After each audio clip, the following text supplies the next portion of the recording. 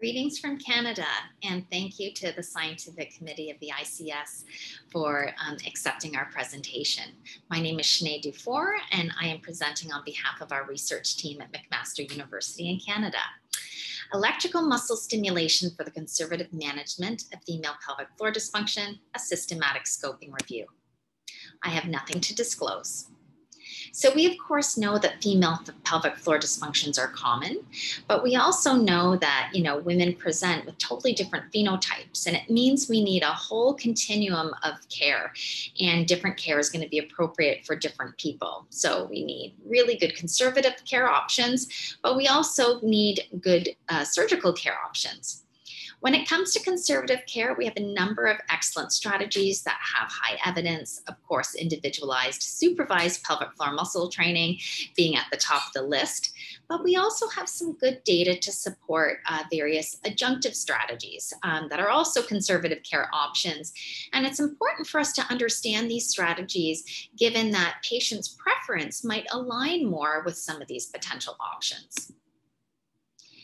So, electrical muscle stimulation in particular is a long-standing care strategy, conservative care strategy, certainly considered more of an adjunctive care strategy to be used together with some of the level 1A conservative care options with technology um, really accelerating and you know we have newer technologies emerging all the time uh, particularly newer technologies for ems we wanted to kind of get a sense of you know where the state of the science is around electrical muscle stimulation that of course includes some of these novel technologies so here are um, a sample of uh, the technologies that are included in this review. So the aim was threefold, to review the current efficacy of EMS, but to also describe the efficacy in terms of comparing intravaginal EMS and kind of more traditional forms of EMS, but also with extravaginal EMS. So EMS that is either using superficial electrodes or really more novel forms where you're fully um, clothed while you receive uh, your EMS and then to kind of look at the difference in parameters in terms of more traditional lower frequency EMS and how that compares to higher frequency EMS or higher intensity focused um, care. So we conducted a systematic scoping review to address these aims. We looked at three databases and eligible articles included females with pelvic floor dysfunctions and any type of use of EMS for the conservative treatment of these issues. We used Covidence. We had two reviewers who independently screened, reviewed, and extracted the data. And then, of course, we analyzed um, based on um, our aims of the study, based on those questions. So you can see our Prisma, Prisma flow diagram here. We started off with um, over a thousand papers, so 1,407. And then by the end, we actually had 38 studies uh, to do our data extraction.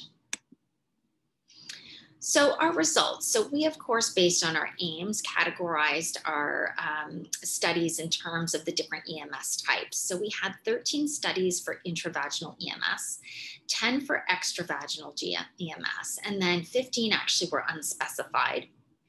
In addition, we categorized in terms of some of the EMS parameters. So we had low frequency EMS, which was anything sort of lower than um, 50 hertz. We had um, 11 studies there. We had our higher um, frequency EMS, which was anything sort of um, above 50 hertz. And that, of course, included our high intensity focused electromagnetic stimulation. Our HIFEM technology was included there. And then we have our non specified frequency. And the population characteristics um, of the included studies included um, urinary incontinence, fecal incontinence, overactive bladder, sexual dysfunction, and vaginal laxity. So, as far as outcomes were concerned, outcomes really did span the domains of the International Classification of Functioning Disability and Health. So, we had domains in the impairment, we had domains in, in function and activities, and we had domains at the level of participation. So, most of those were quality of life. And what we found actually was that all forms of EMS were actually found to improve outcomes across all domains. Urinary incontinence specifically was found to move more um, notably than the other characteristics of the population.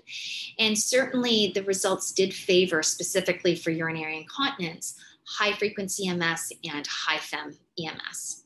Um, EMS was found to be well tolerated with few adverse reports. Our analysis um, is ongoing, and uh, we certainly will uh, be publishing uh, all of these findings. So, in conclusion, a continuum of electrical muscle stimulation applications, including sort of novel intravaginal and extravaginal um, applications, we know these exist for um, pelvic floor dysfunction, and probably more technologies will continue to pop up, leveraging, you know, the potential benefit of EMS as far as our review is concerned, all actually do appear to carry some benefit to be used as an adjunctive conservative care strategy. So that's important. And particularly, the evidence really lines up with incontinence. So, given uh, the, the, efficacy, and in some cases lower, in some cases higher, um, it is important that you know we do understand the variety of EMS tools available, so we're able to consider um, patient preferences when applying uh, this care. I'd like to thank you um, for your attention for this uh, presentation. Certainly, uh, if there are any questions, you can direct those to me at sdufour at mcmaster.ca.